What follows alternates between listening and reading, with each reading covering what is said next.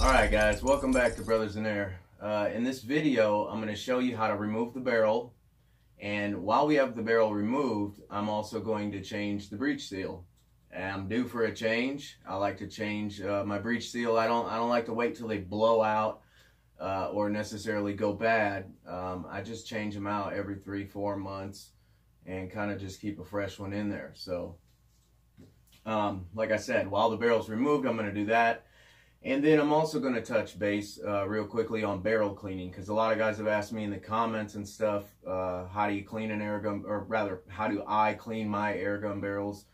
And uh, there seems to be a, a, million and one ways to get the job done. You know, guys have uh, uh, adopted and adapted all kinds of different techniques and, and found tricks and different things that work for them.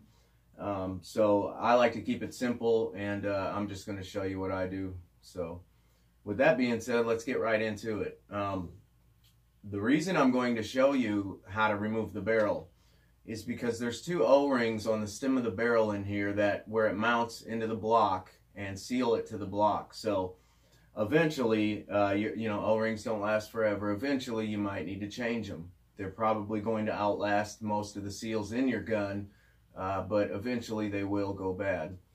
And I like to keep all the seals, you know, kind of on a, a, a yearly, buy, uh, you know, maybe every two years. Uh, I find myself just kind of swapping some seals out. I don't really wait for them to go necessarily completely bad. Uh, it just be for one reason or another. I'm up in the gun, you know, so I'll just change it out while I'm in there or whatever, and and uh, kind of just keep keep good ones in there at all times. But um, anyhow, you can change the breech seal without removing the barrel and you know I've got uh, a pick hook that I bent specially so you know to a special angle so I can get in here and scoop them out real easy. And uh, you, you, know you're just popping a new one back into the gland you know and just put it in till it, till it pops into place. And there's tons of videos out there about it and stuff. So um, as you can see I've already uh, removed the quiet energy shroud. I've actually been using a moderator now on the gun without the uh, quiet energy shroud for quite some time so that's what you see here. But uh, we're going to be starting from that point moving forward with the shroud removed and I've also removed my optic. So I did make a video uh, all about the shroud and how to remove it and stuff. So if you didn't know how to remove your shroud, you could reference that video. But anyhow, you've got to remove your optic uh, in order to access this stuff freely. And the only difference between the flash and the flash pup, be it the wood or the synthetic or whatever, is the optics rail on the pup. You've got to take the optics rail off before you can access the screws that hold the barrel in place. So that's the first thing we're going to do is take the optics rail off. And you need a two and a half millimeter Allen key to get the optics rail off. And I'm going to uh, start with this rear I should have put my headlamp on just so I could see a little better. But we'll get her done. Now I'm going to loosen up this front one.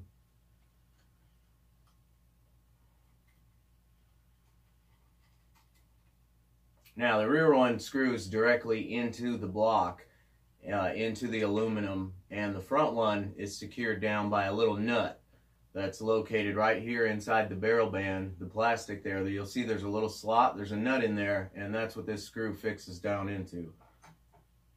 So I'm to set this up here. And now I'm to share with you a little trick. Uh, you don't have to do this, but uh, it's been helpful for me. And uh, it's something that I thought of not at first in the beginning. And uh, sometimes, you know, it could be a little bit of a headache. So I think that this is helpful in eliminating uh, the guesswork and stuff like that, you know, and feeling your way as far as setting the barrel when you're reinstalling it and getting everything lined up perfectly uh, back in the same position that it was. So the trick is, what I like to do is I'll take a marker. Now I've just found, you know, this color just works better than black. It's like a light blue. But anyways, what I will do is take a marker like this, real fine tip, you know, felt, and I'll draw a line crossways across the top of the barrel here, flush, you know, right up there against the block. So now I have a reference mark when I'm putting it back into the block and I'm reinstalling the barrel, now I have a reference mark as far as how far in to go. So now as far as how far in or out for the positioning, we've got a mark and we don't have to worry about it. And then what I'll do is I'll take and make a cross mark right across the top of the barrel and then I'll take a look and line up my pin and I'll put a mark right on the block. And I'll just make sure that those marks are lined up really good and everything. So now I've got a mark that's going to show me where to reposition my barrel when I do the reinstallation for, you know, as far as how far in the block it needs to go, because you don't want to go too far. If you go too, too far, um, you're not going to be able to clip your uh, single shot tray back in anyhow. Uh, so you're going to know that way. But you want to get it uh, as close to possible as, as to where it was. You know, you don't want to have your port lined up with your barrel port and your transfer port. You don't want to have them uh, misaligned a little bit. Uh, your tune could change or whatever the case may be. So that's just a little trick. And uh, then, you know, you, you just push in the barrel to your line, line it up, the one that's flushed off with the block. And then you just wiggle your barrel left to right until you line up those two marks, the one on the block and the one on the top of the barrel. And now once you've got those two things lined up, you don't have to even, you know, look down into your holes and, uh, you know, visually try to line things up, you know, and stuff. You can just look here and see that your marks are lined up and then you can just crank and set down your set screws and you're good to go. You don't have, you basically eliminate the guesswork uh, if there is any. So let's, uh, I like to, let's make sure we're on safe here. I like to retract uh, the pellet probe on all my guns whenever I'm removing a barrel. You don't have to, but uh, I just like to. I like to just get it up and out of the way. So you need, again, uh, a two and a half millimeter Allen key, and there's two set screws that hold the barrel and fix it down into the block. Now, on the pup, the rear screw is a little bit shorter and it's recessed, and that's just to accommodate um, the little nipple on the bottom of your plastic spacer there beneath the optics rail. So take note of that just so you don't uh, put the short one in first when you're doing your reinstall into the front and only to find that you've got uh, you, you can't get your rail set down into there you know because you got the screws backwards. But anyhow I'm going to loosen up this back one. Like I said two and a half millimeter Allen. And now I'm going to go ahead and loosen up the front one the hole in between those that you see, um, now you're going to find that even on the flash or, or whatever if you don't have the flash pup. And that's because it's all the same platform. It's all the same block. You know, they're using the same main block and then they're just printing flash or flash pup on the side. So what that is, is the hole. So if you've got, say, the flash and you wondered, well, what's this uh, hole here that seems to hold, you know, have no function or whatever. Um, that's what that is. That's for the optics rail for the uh, flash pup setup so that the screw can go through there and then that's what secures the screw. That's where that screw goes down into that middle hole. So you can just uh, disregard the middle hole. Um, and I got one of my guns, the flash, it came with uh, uh, a set screw in there to plug the hole and the other one it didn't. So if there is a set screw in there, um, you're going to want to loosen it, but uh, in my case, on one of them, there wasn't. So anyhow, two screws. We've loosened up uh, the back one, and I'm going to take out the front one now. You don't have to completely remove them, but that's what I'm going to do. So now we've got our set screws out. Like I said, you've got two O-rings on the stem of the barrel where it mounts in here.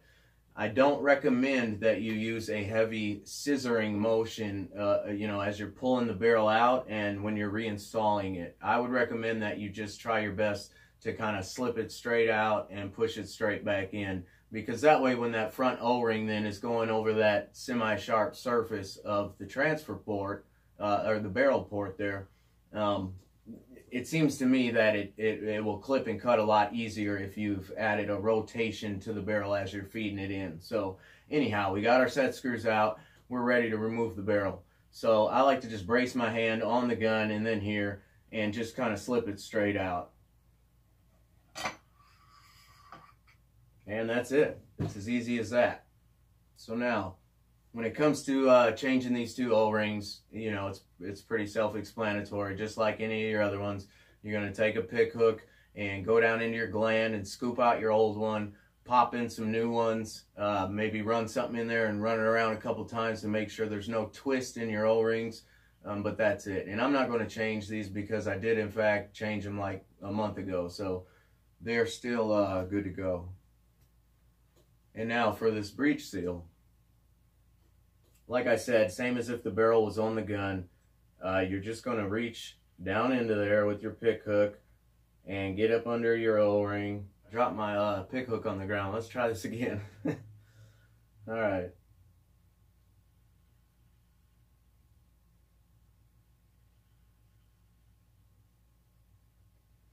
So now I've got my O-ring out and I'm going to set this here because I don't want to get uh, any lint or fuzz or anything like that onto my uh, barrel O-rings. Excuse my coffee too, it's early, the sun just came up so I've been having some coffee.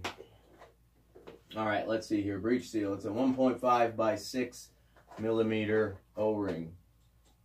So I'm gonna get one here out of my little self-made rebuild kit.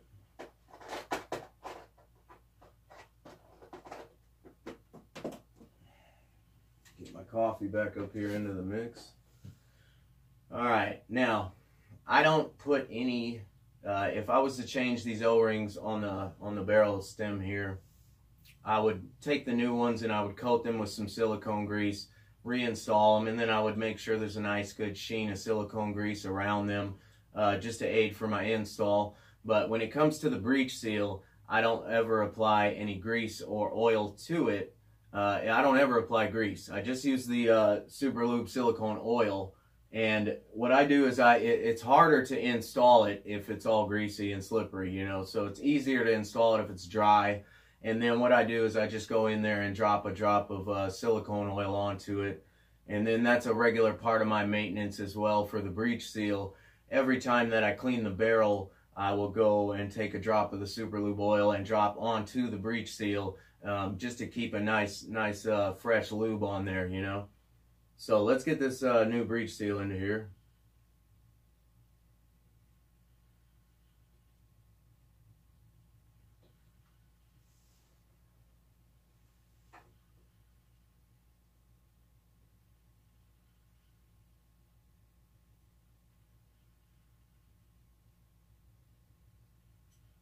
All right, there we go. And that can be kind of tricky, popping it into place, you know, but you'll get the hang of it. All right, so now what I am going to do, since I'm reinstalling this, whoop, I am going to take just a little dab of silicone grease and reapply to these O-rings on the barrel stem here. And I'm using a very, very sparing amount and I'm just applying a light sheen to the outside of it. I'm not leaving any any excess or any uh, extra, you know, just enough to give me a little bit of lubrication to aid with reinstalling the barrel. Now, if this is your first time ever taking out your barrel, you may want to, since you've got it out, go in here and uh, clean out the block nice, you know, and make sure there's no mucked up stuff in there or any, any uh, debris or metal or anything from the machining process which you uh, unfortunately sometimes will find. Uh, so like I said, if it's your first time, maybe get up in there and clean it out, but I'm not going to do that because I know that mine's already nice and clean in here. So then we're just going to take our barrel and feed it through the band here, being careful not to scratch our air reservoir. And then you're just going to feed it back in. And like I said, uh, we've we've made marks, you know, so I don't have to worry about the positioning or looking down through the holes to make sure I'm lined up on my flats and different things like that. We're just going to put it in, line up the marks, and we're good to go. So let me get it slipped in here.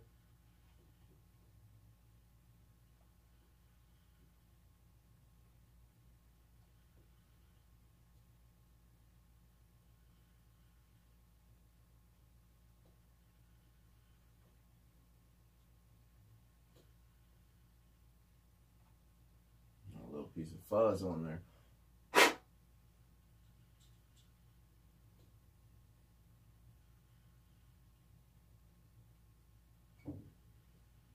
All right, so I've lined up my marks. Now I can take my set screws and go ahead and just snug them back down and I don't have to worry about, uh, you know, loosely snugging them down and rocking the barrel and feeling my way into position, you know what I mean? Those marks actually are a great uh, little cheat for you, you know? It makes the whole process that much easier. So now remember the shorter the shorter uh, set screw goes into the rear. So I'm gonna get these started by hand and then just feed them down in with the wrench. And now I'm gonna snug them down this way. And you only need to snug them down. You know, you don't need to crank and reef on these things or you're going to strip them out. You're going to strip out that aluminum and then what you're going to feel from there once you break that point is you're going to feel less and less tension. So you're going to actually think you're, you know, you've got further to go and uh, just don't do it. Don't strip them out. It's not, it's going to be a headache and then you've got to retap them and go with, you know, a bigger screw and uh, it's just not a good deal to do. So just snug them down, you know, get a little bit of flex into your Allen, Allen wrench, and uh, that's it. You do not need to reef them, and they'll be fine. Nothing's, uh, nothing's going nowhere.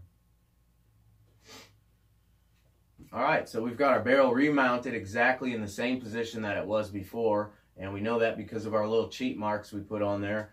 And, uh, you know, you can barely see them. If you're using a moderator and you keep your shroud off, all it's going to take is a rag and a, and a quick wipe, and you can rub them right off of there.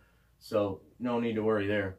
And like I said, what I will do then is take a drop of the silicone oil and stick down in here and go right directly onto the breech seal with it.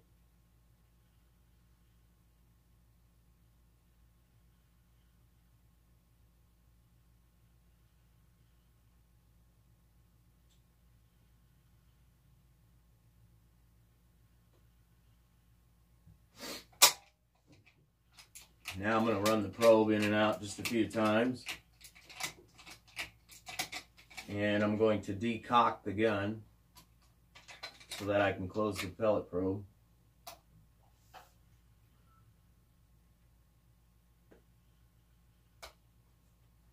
Alright, now like I said, I also, to maintenance the breech seal and keep it in good condition, I put a drop of silicone oil. You can use anything. You can use Crosman, uh, you know, wh whatever the heck it is, you know, the, the breech oil or whatever they got, you know, as long as you're using, uh, I would recommend an oil rather than a grease. Um, I just find that grease attracts dust and muck and, you know, the oil seems to work out a little better. So um, the oil then offers a little bit of lubrication and uh, allows that O-ring to seat you know, properly and quickly when that high pressure air forces it back and, and, and into the clearance gap. And uh, it also offers it a little bit of protection uh, from the elements, you know, a little bit of a coating over it. So um, that's why I do that there. Now, uh, we've got everything, the barrel's mounted back up. Let me get the rail on here real quick, and while I'm doing that, I will talk about uh, barrel cleaning.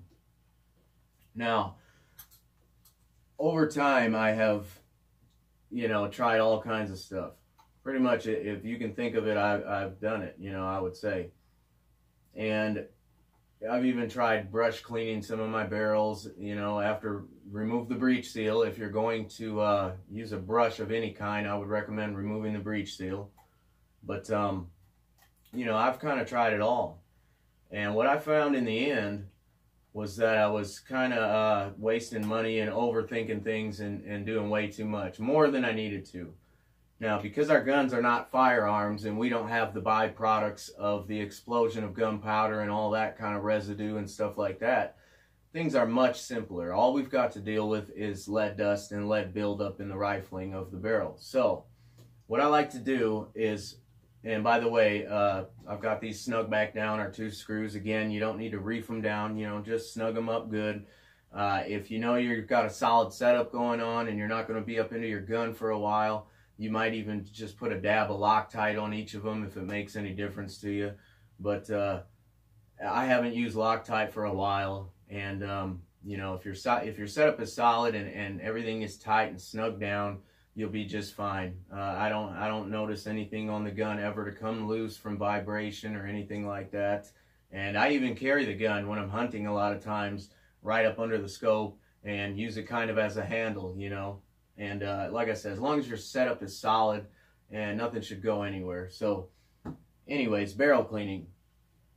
Um, I'll when I get a gun and I get a brand new gun, I'll remove the barrel like you just saw. I'll pull the breech seal and then I'll use a rod and I'll use patches and I'll use some kind of a solvent like a heavy solvent uh, infused cleaner or whatever.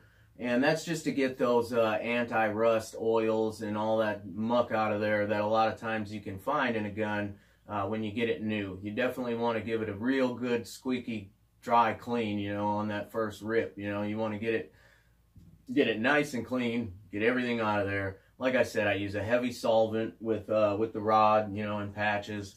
And then from that point on, once I once I've done that and I've got those initial uh, greases and oils and all that factory stuff out of there, from that point on, I personally don't use any chemicals. I don't use Ballistol when I clean my barrels. Uh, I don't use anything. What I do use is a gun rope. Now I've found this brand SME to be uh, my favorite, and I'll tell you why. They do not have the brush uh, like a BoreSnake or some of the other ones. They don't have the brush incorporated into, uh, you know, the, the pull through cleaning part of it. So you've basically just got, you know, your shoestring and your pull through and their brush apparatus and everything else is a separate pull through. So I like that because I've used like the BoreSnakes in the past and I've had to cut out the brush and reattach things and stuff. So once I found uh, this this SME brand, I, I, found that I like it the best. And not only that, uh, with the brushes not being incorporated onto the rope, I found these to be very, very tight fitting. You know, so um, as opposed to some of the other ones, you know, they all fit tight, but I found these to be very tight. You know, the first time I ripped one of these down through the barrel, uh, I honestly thought I might be in trouble and get it stuck up in there because I thought I might snap the, the string or whatever, you know. But uh, that's never happened, and uh, it's worked out real well. And we all know that our groups start to open up, and uh, funny things start happening, occasional flyers and different stuff uh, when our barrels are getting fouled. So in each of my guns, I kind of know where that is, and I kind of know the signs, and I know what to look for. And I can usually tell immediately when it's happening, and I know why it's happening and then that's what I'll do. And generally, uh, one pull with that tight gun rope. I mean, you've got to think that thing's fitting really super tight, you know, and it's two feet long or whatever. That's like running probably, uh, you know, 70 patches through your barrel or something all at once, you know, consecutively just pulling. So I've found that to be the most effective method, and I've even tested it out where I'll I'll run it through once or twice and then I'll take a patch, you know, with some uh, with some uh, Ballistol or something and run it through with the rod just to see what's left in the barrel, if anything. And uh, rarely can I even get the uh, you know any color onto the cloth of any kind, you know, of any residue. So, like I said, it's very effective and very simple. So I don't, you know, now I don't use chemicals. I don't I don't deal with Ballistol anymore or anything. And then, like I said, every time that I get to that point that my barrel needs a cleaning because it's fouled up and I know it's time, I'll run the gun rope a couple times and then I'll put a drop of the silicone oil right directly onto the breech seal and uh, help the breech seal out that way. So that is how I clean my air gun barrels. Sweet and simple, you know. One and done pretty much. You know, I've never pulled one of those more than twice through a gun and it's just it's just squeaky clean. So very effective and uh, I would recommend it. But anyways, I hope the video was helpful and I hope you guys are uh, out there jamming away with your flash pups, just having a blast. Hopefully I can get some uh, hunting footage up soon. I haven't had much chance and now I've been working with a couple other new guns that I got, so time's been a little limited kind of in every direction, but uh, we'll get there. So anyways, happy shooting to you guys and uh, take it easy. We'll see you on the next one.